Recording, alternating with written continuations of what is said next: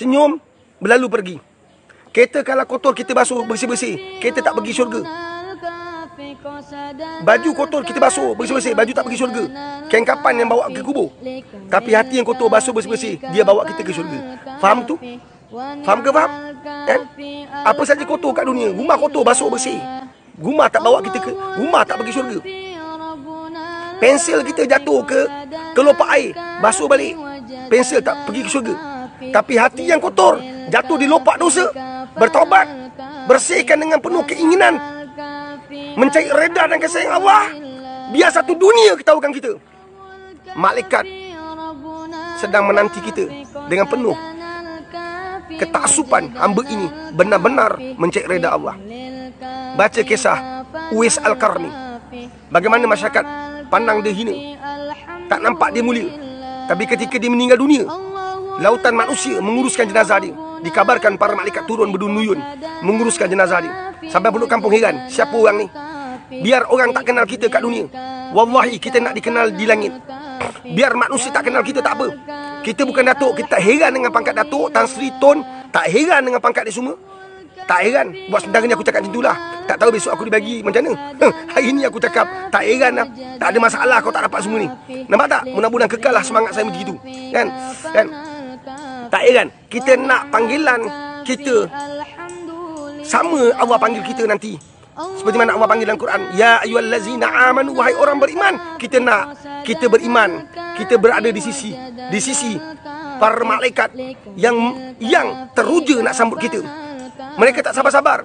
Sebab di malam hari Kita duduk seorang-seorang. Pukul 3, pukul 4 setengah Seorang-seorang kita zikir. La ilaha illallah Ya Allah. La ilaha illallah. Ya Allah pada engkau aku berserah. Pada engkau aku mohon pertolongan. Kuatkan aku Terima taubat aku Ya Allah. Allah. Allah. Allah.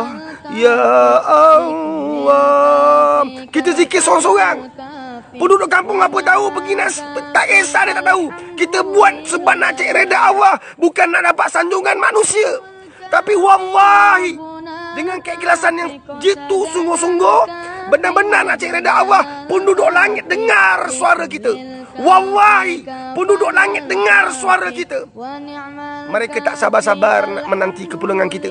Roh kita diangkat ke langit pertama. Kita disambut tuan-tuan ketika jasad sudah terbujur kaku diziarahi mereka-mereka yang berdekatan dengan kita yang mengenali kita. Dibacakan yasin didoakan kesejahteraan roh kita. Semua itu tidak akan beri kesan pada roh kita. Yang nak balik ni amalan kita tuan-tuan. Berapa banyak manusia hadir pun tak memberi kesan pun. Roh kita diangkat disambut di langit Itulah orang yang beriman. Itulah roh orang beriman Yang ketika hidup Suaranya sampai ke langit.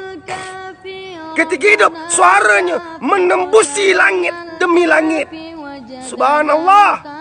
Para malaikat Ternanti-nanti Milik siapakah suara itu?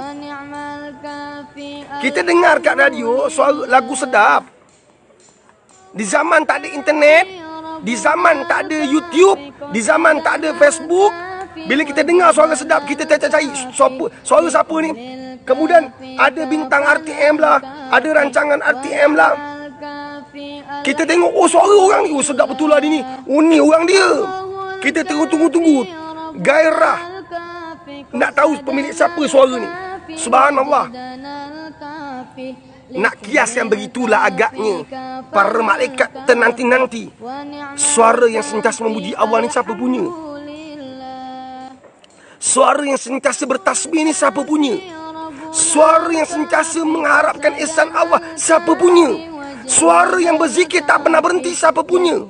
Suara yang berkumandangkan ayat Bacaan Al-Quran tu siapa punya?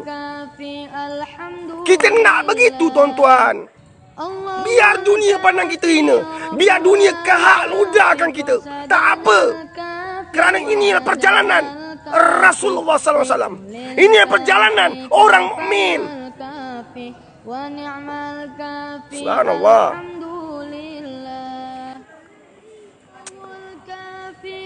Faham ke faham tuan-tuan? Kita tak kisah orang suka tak suka kita. Selagi kita berada di jalan ihdinas siratal mustaqim, di jalan kebenaran, di jalan tauhid la ilaha illallah.